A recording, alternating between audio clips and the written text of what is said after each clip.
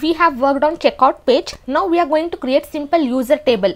Okay, in our previous session we have seen whenever I click on this checkout button, okay, I'll come to cart. Now when I click on this checkout button, if the user is not set, then I should be redirected to login page. If the user is set, then it should be redirected to payment section. Okay, let me just come to checkout page and here we have written this entire condition. Now what we are going to do, first we are going to create user table, then we are going to work on registration, then login and then finally payment. First we are going to work on user table. I'll come to database. Now inside our database we are having all these tables. Now I'm just going to create one new table. I'll click on new. I'll just give the table name as user table. Okay, let it load.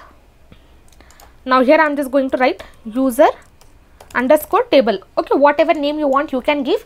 I'm just going to give here user table. Inside this first I will be having user ID.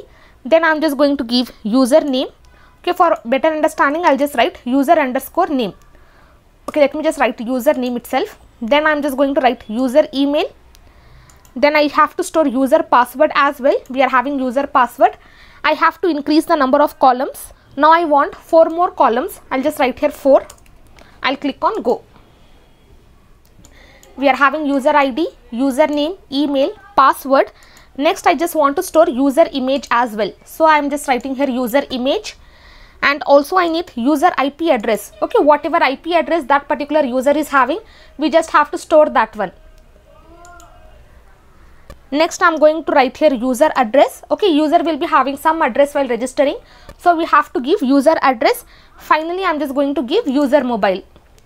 Okay, totally 8 columns we are having. Okay, user ID, username, email, password, image, IP address of the user, address of the user and finally mobile of the user. Now for each and everything we are going to assign the data type. For ID I am just going to give integer. Length I am not going to give because for integers if we don't give then by default it will take the length as 11. So as of now I am not going to give any length for integer value. Username I will just write here varchar. I will be writing here 100. Length is equal to 100. Email I will be writing varchar. Length I am just going to write here 100.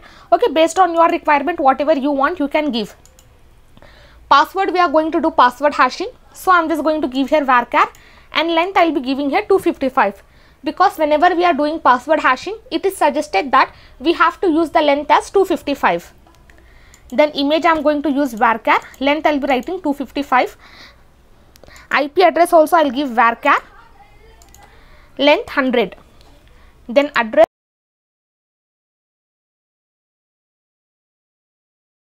let me just write here 255 itself. Then mobile number also I am just going to give varchar.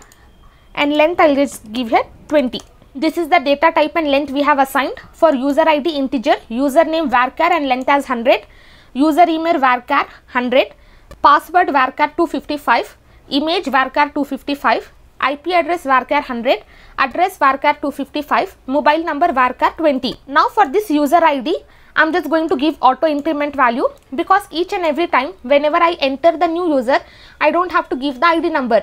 By default it will be incremented by 1 so i'm just going to give here auto increment. And inside this null index i'm just going to assign the user id as primary key.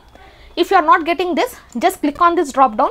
You will be having multiple options. Just click on this primary okay this is how we are going to create user table.